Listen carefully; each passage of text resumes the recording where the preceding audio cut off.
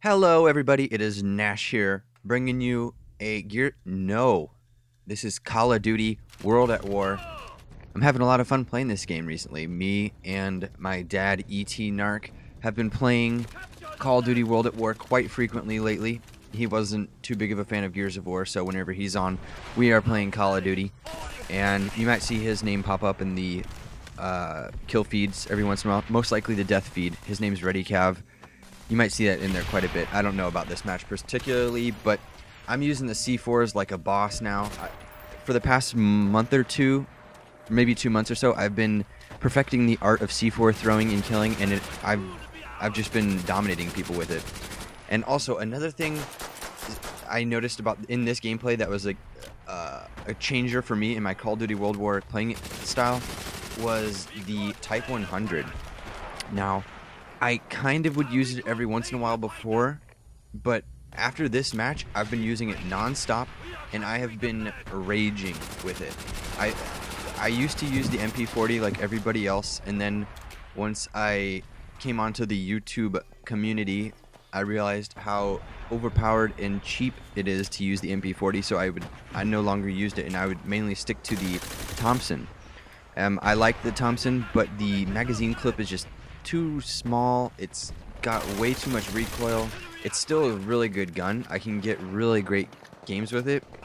But after picking up this Type 100 right here that has the extended mags, I've just, I, I don't know, I just love this gun now. There's little recoil. It's got really good accuracy, a very large magazine.